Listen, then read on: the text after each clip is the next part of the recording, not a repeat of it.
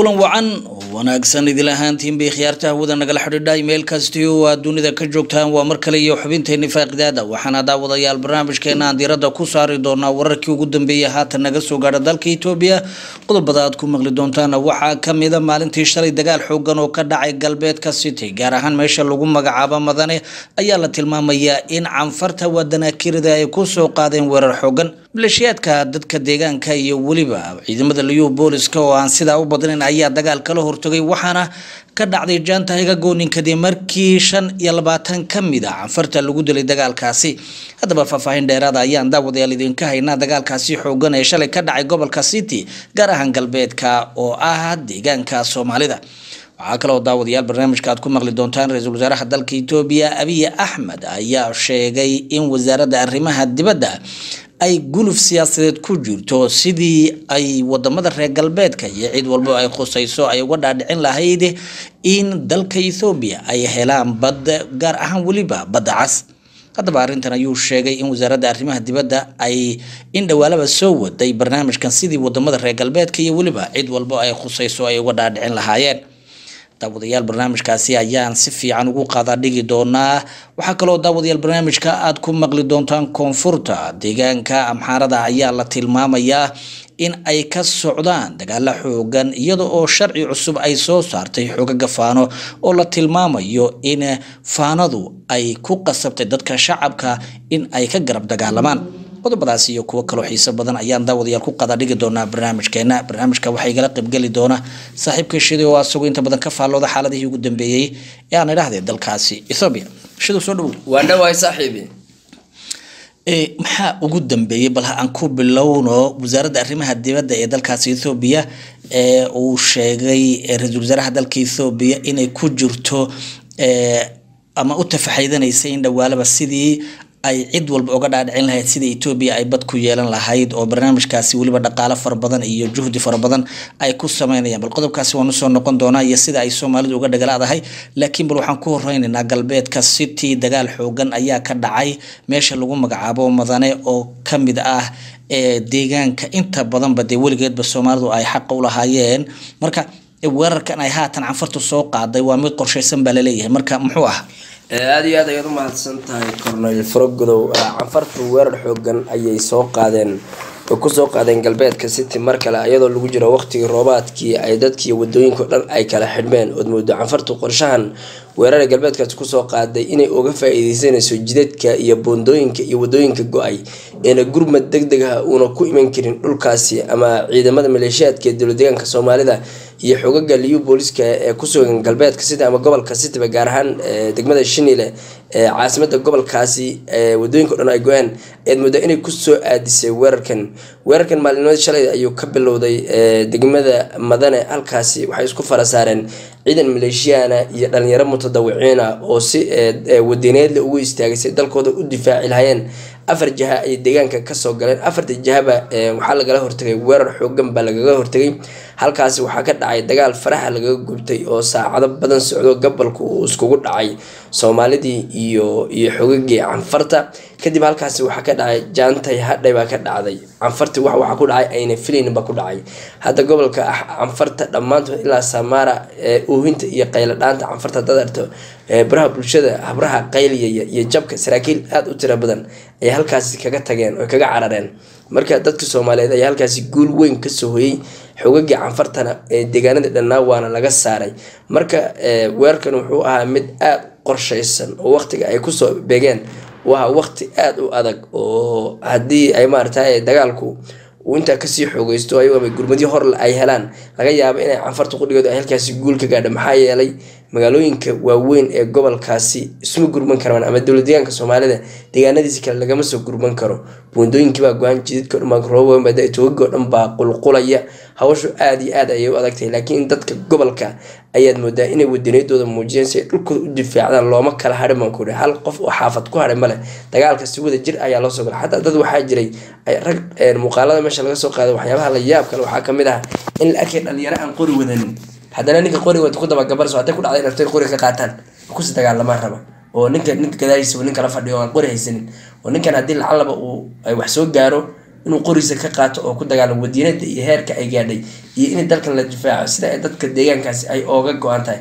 Marka waxaad moodaa weli waxaa jira dad soomaaliyeed oo maaragtay caafimaad qaba oo wadaniyad oo dalkooda ilaashanaya oo og gumaystaha iyo maaragtay nimankan duulaanka ee danaakirada iyo qorsho xumidooda qaabka ay wax ku rabaan in ay si weyn ay oola socdaan ay jiraan baad moodaa marka cafarta way jabtay waa la xasuuqay saraakiil iyo ciidamo dhowr iyo labaatan gaadhaya iyo halkaas meydkooda looga tegay oy soomaalidu aaseen oo halkaasi ka qaadeen. Sababto dadkan haddaan la aasin xawayaankii baa cunaya waraabi baa cunaya waxyaaba badan baa ka dhalanaya. Ma fahamti marka dagaalo culus baa halkaasi ka dhacay canfartuna dagaalkaasi waa ku jirtay marka canfartu qorshahoodu muxuu ahaa? Qorshahan waa laga dambeeyaa oo oromada ayaa inta badan dabada ka riixaysaa la leeyahay inay dagaalkaas soo qaadaan. Marka maxaa ka jira? Horta canfartu meesha horta laba qorshaa ka jira oo canfar iyo oromo ah qolo walba laakiinse waxbay maagan tahay. Qolo qolo waxu rabta male canfartu waxay rabtaa dhulka in ayadu qabsato. Waa lagu dhulka soomaali dhulka soomaalida waa lagu orotamayaa.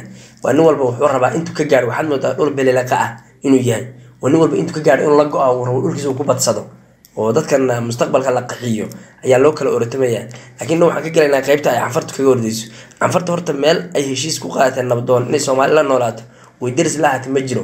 Canfartu maalin mataawar meel ay dhigtaba weerar way soo qaadaysaa wayna soconaysaa. Ilaa hadday doonto jigjiga may timaado. Laakiin wajahadeeda iyo rabitaankeeda iyo dhulka iyadu ay ay doonayso canfartu maalinba meel bay u taagan tahay. Maalinba taako ayay soo gaartaa oo go'aankeedu uu yahay mana heshiisna ma qaadata canfartu heshiis way diiday oo dhulkan ay ku soo duulaysa waa dhul soomaaliyed waa loogyahay dhulkii la isku haysan jiray ee waqtiga t b looga soo tegba laakiin hadda dhulka lagu socdo waa dhul bartamihii gobolka oon looba oon heshiisna ka mid ahayn doodna aan weliga geli karin. Waa dhulka lagu dagaalamayo ee hadda loo socdo. Marka qowmiyadahan dalka etoobiya dariskana sida oromadii canfarta ee toobigay qaateenoo waxaa jira ahaa nin walba jihada soomaalida kaga aadan inuu dhulbalaaris ka sameeyo inuu ka qaato. Soomaalidana la riixo waad aragtay markii hadda shirarka waaweyn ay galayaan soomaalida qowmiyadaha dalka etoobiya lagaga doodayo markay abagadhayaashooda ay hadlayaan waxay ku leeyihiin soomaalidu waa xoolo dhaqato. Xoolo dhaqataysa soo fidisay waayo ee dhulkooda uu fogaan jiray. Jigjiina uma dhawaan jira dhul xoolo dhaqato oo xoolo dhaqatadii qoryaha watay geel iyo loda kaxaynaysay ayaa dad waayadii hore samaanigii hore dadkan soo qaxisay bay kuleeyihin marka barnaamijka isla qaateen waxaa jira qolo walba jihadeeda inay dhulbalaarsi ka wado soomaalida la isku ururiyo dhul fog la geeyo ayaa ka go-an. Marka dhulka canfarta iyada barnaamijkeedu waa barnaamijkan gobolka city dhulkaas inay qaato ormadu xataa gobolka city qeybaheeda ka haysata oo maalmo hore dagaal ka dhacay tuulooyin ay ku qabsatay baa jiray way weli haysato. Laakiin ayagu waxay rabaan qolo walba qolada kale sura inay labadooda isu yimaadaan labada martaba ku dagaalamaan dhulka soomaalida. Labada martaba isku dagaali doona markay dadkooda ka qaxiyaan laakiin waxaas ma rumoomayso aakhir soomaalida ayaa guuleysanaysa soomaalidu ilaahay la jiraa xukman oromada ee maarata barbarka ka rarana ee dhulbalaarsiga asaga dhanba gundhiga u yaad moodo aad moodo xeer hoosaadka b b ba inuu yahay dhul la qabsadiyo dhul la balaarsa in laga dhigay aada moodid. Ma shaqayn doono waa laskaga daba imanaya okaas daawadayaal bal dagaalkaasi ee lagaga dilay nimanka lagu magacaabo canfarta ugu yaraan shan iyo labaatan ee dadkii soo duulay ahaa iyo faahfaahinta bal waan idinka soo dib ayaan idinka soo gudbin doona hadduu rabbi idmo dad deegaanka ku sugan ayaanu xidhiidho kala duwan la samayn doona hadduu rabbi idmo barnaamijkeena dambe ayaadna ku maqli doontaan. Aada iyo aad baad umahadsantihin barnaamijka sii shargaraya saaxiibadiinana la wadaaga. Weli xubintaani ku dhex jiraa faaqidaada ninka lagu magacaabo doctor shidow ra'iisul wasaare abiy axmed waxaad moodaa in ay kaga dhagan tahay inuu hirgeliyo qorshihiisa siyaasadeed ee etoobiya ugu doonayo sidii ay bad ku heli lahayd. Soomaaliduna waxaad moodaa inay arintaasi ay ka dhagalaadahay. Wasaaradda arrimaha dibadda ayuu sheegay in waddamada reer galbeedka iyo cid walba ay khusayso sidii looga dhaadhicin lahaa etoobiya sidii ay bad ku heli lahayd. Weliba bad cas ay ku heli lahayd. Marka arrintaas maxay kugu muuqataa? Ra'iisul wasaaraha etoobiya isagoo la hadlayay dad etoobiyaan oo aada u tiro badan ayuu barnaamijkan kaga dhawaaqay in ay dowladda etoobiya geed gaaban iyo geed dheer buu fuulayso sidii ay badcas ku heli lahayd hadalka ra'iisul wasaaruhuna badcas aada buu ugu soo nonoqday welibana hadaladiis waxaad moodaa inay aada iyo aada u kala fog yihiin qaabka ugu hadlayo iyo waddooyinka uu ku raadinaya badcas inay tahay kaafiya kala dheeri baad moodaa. Hadda dhankan arrimaha dibadda haddaan soo laaban ra'isul wasaaruhu wuxuu sheegay wasaaradda arrimaha dibadda ee dalka etoobiya in loo igmaday hadda inay badda ay soo gado barnaamijka badda etoobiya rabitaankeeda inay adduunka ka gado inay ka iibiso. Oo adduunka dhan ay ku qanciso. Sida etoobiya ay u rabto bad cas inay hesho. Iyo gundhiga baddan cas qaabka etoobiya ay ula macaamalayso dalalka dariska inaan etoobiya waraabo loo arkin wax dhacaya oo barnaamijkan ay sheegeen ee nalaga faafiyay adduunka o dhan nalaga horkeena etoobiya badarta waxbay dhacaysaa dhulbalaarsi wadaayo. Hadhow etoobiya xeerka ma ilaaliso iyo barnaamijyo noocaas iyo media naloo yidhi oo adduunka o dhan baa naga qaaday buu yidhi laakiin wasaaradda arrimaha dibadda wuxuu yidhi waa tabliiq. Tabliiqa etoobiya waaye buu yidhi waa inay dadka ay gaadhsiisay buu yidhi adduunka. Afrika ay gaadhsiiso kuwa ay wax naga dhexeeyo khusayso. Caalamka ay gaadhsiiso. Inay etoobiya ay bad lagama maarmaan tahay inay hesho.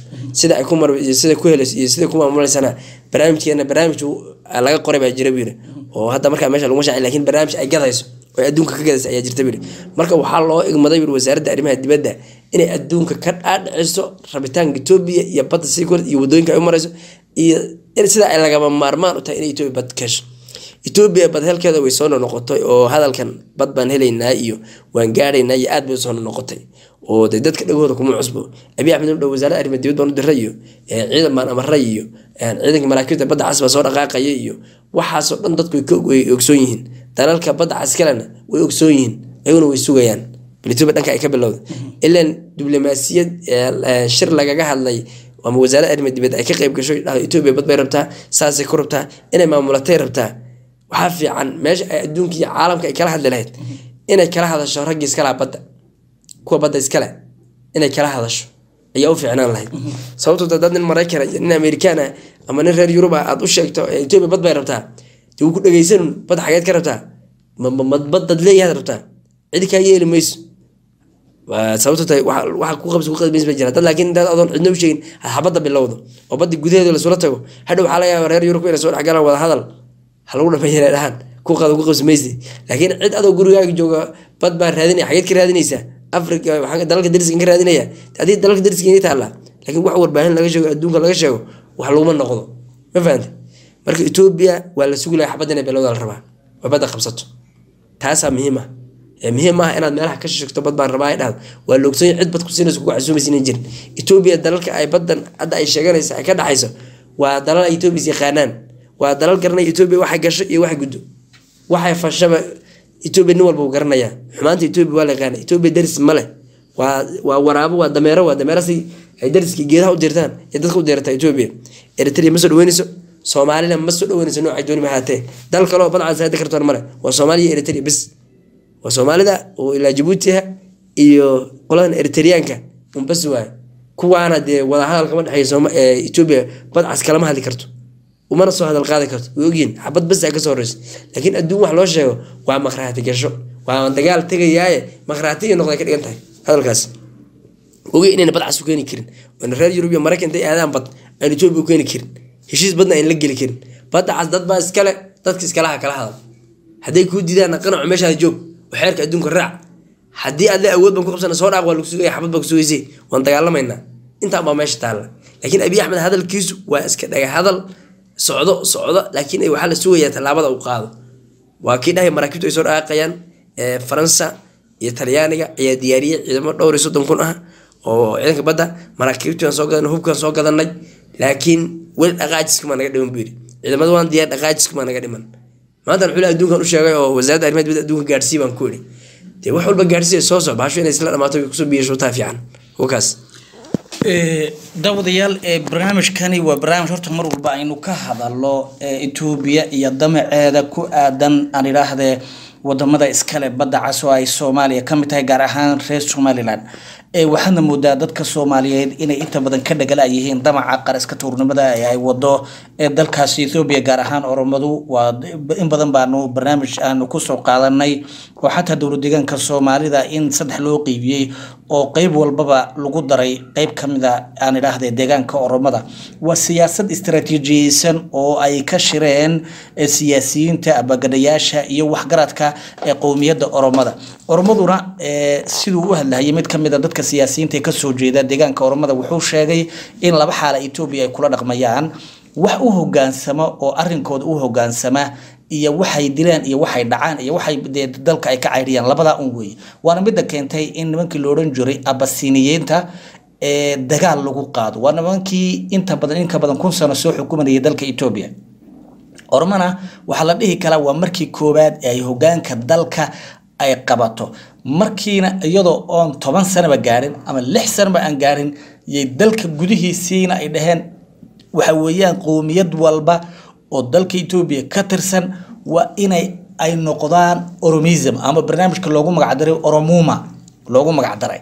In ay oromo noqdaan ama in ma garanaysa ay wadanka ka qaxaan oo la leynayo waa barnaamijka hadda socday waqooyiga dalkaas ethoobiya aada uga socda qorshaha kale la qaatay waxaa weeyaan in badda badda cas aan idhaahde la gaaro waana arinta keenaysa gulufka colaadeed ee u dhexeeya eritrea iyo dalkaasi ethoobia haddaba barnaamijkani waa barnaamij soo jiray oo ummadda soomaaliyeed u baahan inay aysan indhaha ka qabsanin dalka soomaaliya oo iska burbursana muddo dheer haatanna ay ka jirto dowlad aan macno badan ku taagnayn. Marka loo fiiriyo siyaasad ahaan iyo diblomaasiyad ahaan iyo qorshe ahaan waa dowlad aad ma garanaysaa gacanta loogu hayo oo aan macno badan ku sii fadhinin dowladda dalka soomaaliya hogaaminaya madaxweyne xasan sheekh maxamuud somalilandna waxaad moodaa in ayaga laftigoodu ay kala jabeen oo wixii la isku oran jiray somaliland ay u kala jabeen reer khaatumo iyo somaliland inteedii kale oo laftigeeda loogu talagalo barnaamijkan barnaamij istaraatiijiysanaa uu ahaa oo chinaha iyo wadamo kale ay ka dambeeyeen. Marka barnaamijkani waa barnaamij u baahan waxgaradka soomaaliyeed inay mar walbaba ay ka hadlaan. Marba haddii wasaaradda arrimaha dibadda ee dalka etoobiya ay beec geynayso sidii ay uga dhaadhicin lahayd waxa weeyaan hadda maalin dhaweyto waxaan sheegnay soddon iyo sagaal diyaaradood oo helicopterka maxaan ku dhaha wax bambeeya iyo weliba miiga noocii ugu dambeeya inay wadanka uruguay la yidhaahdo ay ka soo iibsatay etoobiya etoobiya waxay u hub urursanaysaa wax kale maaha ee ay ciidamo badeed u samaysanayso oo ay tallaabo walba u qaadayso. Waxa weeyaan waa sidii bad iyo deegaan cusub ay ku heli lahayd. Waxaadna moodaa wadanka yar ee la yidhaahdo eritrea keliya in arrintaasi ku baraarugsan yahay laakiin waddamada kale ee soomaaliya iyo jabuuti labaduba aada mooda inay iska indhatirayaan xaaladaasi. Laakiin markii dee ay biyuhu godka kugu soo galaan unbaan u malaynaya ummadda soomaaliyeed inay ku baraarugi doonto. Marka commentigiina iyo fikirkiina aaraadiina waa muhiim. Qof walba uu ka soo dhiibo fikirka iyo soomaalidu siday u daman tahay iyo waxa kaala quman barnaamijkeena ayaynu hore ugu sii soconaynaa. Waxaan rabaa inaan kaala hadlo qodobka ugu dambeeya oo ah koonfurta deegaanka amxaarada. Waxaa ka socda wax la yidhaahdo haddii abihi kuusamo ogol yahay dagaalo xoogan baa ka socda. Sharciyo cusub iyo nimankii la ohan jiray faana ay keeneen. Marka maxaa ka mid a sharciyadaas? Sharciyada ay faana keeneen ama ay ku dhawaaqeen ama ay rabaan inay gobolka axmaarada ay ka dhaqangeliyaan ay dowladana kaga guuleystaan dagaalada xoogan ay kula jiraan. Waxaa ka mid ah inay dhalinyarada deegaanka axmaarada laga bilaabo lix iyo toban jir ilaa lixdan jirka ragga ah in ay dagaalka si wada jira u soo galaan. In haddii fano iyadoo dagaal kula jirta ciidanka dowladda ama dhul ay ciidanka kusugayn hadday weerar ku soo qaado oo dagaal ka dhaco haddii loogu yimaado dad rayida oo axmaara oo halkaas iska jooga oo rag qaangaada oo halkaasi ku sugan xabaduna dhagahooda ay ku dhacaysay wiilasha axmaaraduna ay dagaal kula jireen ciidankii dowladda hadday halkaasi ugu yimaadaan inuu xukunka ku dhacayo yahay inay isku wada mid yihiin ciidanka dowladda iyo maaragtay iyo faanadu in ay isku mid yihiin ayaa halkaasi lagu xukumaya. Marka faano waxay soo jeedisay dhalinyarada deegaanka axmaarada in aan magaalo loogu iman karin nin axmaar ah oo caafimaad qaba oo iska jooga. Haddii loogu yimaado inuu yahay dabaqoodhi ama tadaaqan ama inuu yahay nin sirdoona inuu yahay jaajuusa meesha ciidanka dowladda u joogo. Marka waxaad moodaa dhalinyaradii axmaarada hadda laba mid unbaa u soo baxday. Inay cararaan oo dalkii ka cararaan iyo inay dagaalka galaan ama dhinac dowlad ha ka socdaan ama dhinac faana ha ka socdaan si dabku hawsha u sii kululaato. Markii hore faanadu waxay ahayd jamhad keligeed iyo ciidankeeda iyo booliska iyo ragga hubaysnaa tababaraa oo dee inay iyagu xoog wax ku dhiciyaan isku qaaday. Laakiin hadda shacabka axmaarada ayaad moodaa inay loo soo dhigtay oo si ololku dadku wada saameeyo oon looba helin dowladdu waxay maamulato shacabka u timaado wax u sheegto oo system meeshay qabsato nidaamkii maamulka lagu soo celiya ama loo helinba. Ama loo helin oo dadku ay kuwa tuulooyinka jooga ciidanka dowladda ay u soo socdaan magaalada rabaan ciidanka dowladda soo galaan oo dad degan yahay. Dadkaas waa inay la dagaalamaan. Waa inay noqdaan kuwa dagaalama. Kuwa waa inayna u hogaansamin ciidanka dowladda imanaya. Ayna meesha ku sugin oona wax u sheegin ciidanku. Haddii intii ciidanka dowladda ay ku yimaadaan bay kuleeyihin faanadu ay kuu sheekeeyaan waxay nii sheegaan oo faanada noo tilmaama idinkoo rayida aan idinku dhimaano idinka ayaga isku mid baatiin marka waaba magaalo kasta la yimaado waa inayna hubaysayin dadku. Haddaaban magaalada soo gelayno anagoo faanadii oo socono nimaano idinkaas waa inaynu ugu nimaano inigoo diyaarsan oo hubaysan oo magaalada ilaashanaya oo dhahaya ciidanka dowladda anaga ka difaacno la dagaalanay. Marnaba waa inayna dhicin magaalo ay ciidanku yimaadaan dad rayida ku noolyihin waa ina niman. Waa in meeshan loo kala baxa wada. Dagaalkii qiyaamaha ayaa meesha ka socda. Hadda koonfurta gobolka axmaarada afar iyo labaatan saac la soo dhaafay. Xabad waxaa lagu leeyahay waa sida roobkii oo kaleeta ka tahay dowladdu soddon kun oo askari oo ciidanka kamaandooska ciidankii madaxtooyada ayaa mar kale laga daabulaya adisaba oo laga gelinayaa koonfurta gobolka axmaarada laga gelinaya. Dagaalka hadda halkaasi ayuu ugu culus meesha ugu culus dagaalka halkaas halkaas waa in loo kala hadhan ee lagu kala baxay dagaal kala baxay. Dowladdu waxay sheegtay inay faana ama ama laga guuleysan ama looga tegay meesha. Wax kale inuu dagaalka sii socon karin. Wax macquula maay tiri. Meesha waxa diyaaradaha duqeymaha geysanaya weerarka ciriya dhulka wax la malaysan kara maaha marka ayagu shuruucdan ay soo rogtay faano ee dadka rayidka ee axmaarada ay ku soo rogtay laba mid bay noqon meeshan inay faano guuleysato oo dee dadka rayidkaaba la hadda la hubeynaya faano waxa kule magaalada markaas haddayna hubla-aantii noo sheega. Annaga ruux walba labadiisa qasnood iyo qorigiisa la siinaya xataa gabadh hadday tahay dhalinyaro ah kashaanti ah si qori loo rida la bari way dagaalami. Magaalo kastay ciidanka soo galaan waa in magaaladaasi ama magaalo la baabiya ay noqoto ama magaalo lagu guuleysto sharciga axmaarada ka shaqeeya noqoto. Marka dowladda midaasaa ku cusub dowladda etoobiya taa ay uga falcelinayso iyo qaabka ay dadka u wajahaysa ayada u taallaa oo ayada garan. Sababtoo ta haddiiba la yiri ruux kasta oo rayid ah xabad waa inu anagu geedahan ku wada jiraa markaad magaalada ka difaacdaan dagaalka geesaan ka soo gelaynaa. Dowladda way jabay laakiin haddad inoo rayidka aad soo dhaweysaan oo nimanka magaalada soo galaan oy ka adeegtaan oy wax cunaan oo saldhigyada ay tagaan. Waxaa cadaynaysaa inaad la shaqaynaysaan. Marka qof kastoo dhalinyara waa inu dagaal gala waa. Marka qoomiyadda axmaarada waxaad moodaa barnaamijkan horta waayada u dambeysay waxaa laga waday dalka dibadiisa. Qoomiyadda axmaarada ka waday aqoonyahanka istaagay axmaarada oo markii hore bahasha ka gabanayay oo islaamay sahla tahay amay dowladdu nimanka intay kala caydhiso gobolka axmaarada oo maamul iyo dowlad ka shaqeysa oo ragina aqoonyahanka haddaad bahasha ku dhex miilantaan hadhow ay dowladda argixiseen ugu xunto aqoonyahanka dalka laga mamnuuco oo dibaddii in laga soo afduwa in lagu adeegsaa laakiin hadda qoomiyadda axmaarada caloosha ayay dheejisatay. Dhammaan aqoonyahankeeda waxay u istaageen guul ama guuldaro. Gobonimo ama guuldaro ayay wada istaageen. Guul ama geeri ayay u istaageen. Nin walba meel ay ka gaadhaba wuu istaagay maanta. Siyaasi aqoonyahan looma kala hadhin intoona waa la wada gabinaya laakiin hadda nin walba wuxuu arkay baashan meel lagaga hadha inan jirin. Meel lagaga hadho inan jirin.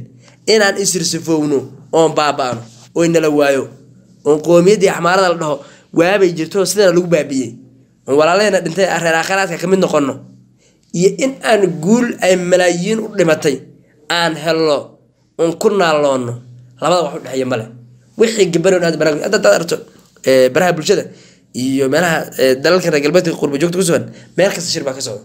Nin aqoon-yahan ayaa ka hadlaya. Oo in yaroo axmaaro tuulo joogto oo ama waagii hore tahriib ku tagtay ama halkaas lagu beeray ayuu la hadlayaa. Wuxuu le dhaqaal ayna laga baahan yahay. Dhaqaal ayayna laga baahan yahay. Dalkeena dagaal buu galay. Dagaal baan galnay. Maalin kasta boqolaal wiilal iyo gabdho iyo aqoon-yahan ayaa la leynayaa oo niman oromo iyo waxyaabihii beelihii yararka etoobiyaanka ee etoobiyada kale oo la soo ururiyey ayaa dadkeena leynaya oo hubkii dowladda ee adduunka laga soo gatay ruushia jina laga soo gaday ayaa naloo isticmaalayaa marka qowmiyaddii axmaarada go'aan bay qaadatay ayna markii hore qaadeen. Abiy axmed hadda ayuu waagu baryay hadda ayuu waagu baryay axmaaradu intii hore wiilasha yararka ee qoryaha loo ridaya ayay fiirinaysa magaalooyinkuna nabad bay ahaayeen magaalooyinka dowladdu ay qabsato sidooda iska nabad u ahaayeen. Baxdaar iyo goondhar iyo magaalooyinka waaweyn oo dhan laakiin hadda waxaad moodaa fariintu way wada gaadhay. Xataa baxdaar inay ka bilaaban oo haweenka iyo ciyaalku ay dagaalami doonaan ayay u badan tahay sababto haddii dheheen nimankaas daan magaalada soo galno waana ciidanka sii raacdaan. Ama aad dagaalantaan wax u dhexeeya male maxaad sameen labada xabad labada kugu dhici marka dadka axmaarada waxaa loogu wada baaqay dhammaantood inay istaagaan. Nin walba meesha jooga inuu ka bilaabo. Maamada sideetan jirka waa inay halkii joogta ka bilowdo. Xabadda ka bilowdo. Marka wax ku noolaanaya gobolka male waa lagu kala baxaya in yar baa lagu kala tegaya haddaan gobolkeena qabsano laba qorshe mid ma inoo taalla waa haddaan gobolkeena ka tuulo ilaa ka gobol ka her nin walba waxbadda meeshaasi ka bilaabo innaga ka badan ciidanka. Meeqa milyan baynu nahay. Dhowr soddon milyan baynu nahay. Wixii dhintay dhimay wixii qaxaqax inta joogta iyo ciidanka waxaa laga yaaba askarigiiba inay ilaa shan haweenha ku soo aadaan oo la dagaalanta halka askariya oromka naagta axmaarta ka adag askari oromahoo xabadaan ridi waxaana duqeynayaan daroniskan iyo waxaana korka garaacayaan baa saaciidinaya hal maalin oromada looma joogeen oo bahashi yartayd fiidmeertayd. Ayaa ciidanka dul heebaabaysa oo taangiyadii hubka cusay baabiinaysa yadaa geediba ay ka dabagelaysaa laakiin waxaan qorshe sii ma. Oromada barnaamijkeeda axmaaraha hadda qorshahan dad badan baa la dhacay. Dad badan ayaa la dhacay oo fikradan u arkay inay tahay fikrad lagu guuleysan karo. Xataa nimanka tigrayga markii ay dowladda la dagaalamayeen qorshayaashay qaateen bay ka mid ahayd. Tigray waa laga adkaan karay. Laakiin haw abiy axmed baa hataa laga hayaa markaan maqalo tagnay wejigii hore dagaalka in maqalo gaadhnay ciidanka dowladda wax biyo siiyaa la waayo. Wuxuu yidhi koob biyaha dilguso sun baa lagugu ridi sunta jiirkaa loo dhex dhigi. Askarigii markuu intuu cabaa hal sax kadib saas u seexan maba soo kacaya waa meyd wax wax ka gadaala waawen askarti. Waxaan ku qasbanaa nabir inaan maqala ka soo baxno.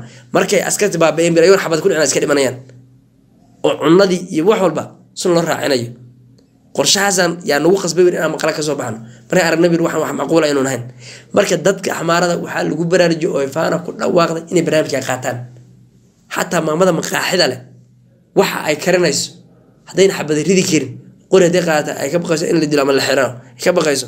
Waa inay siyaasad kala isticmaasho. Toban askari oo soo galo wax nagado canjara daafina si yihiin sunta jirka u raacin. Sunta jirka saacadaas ma soo dhacayaan. Hal sax kadib ay dhimanayaan.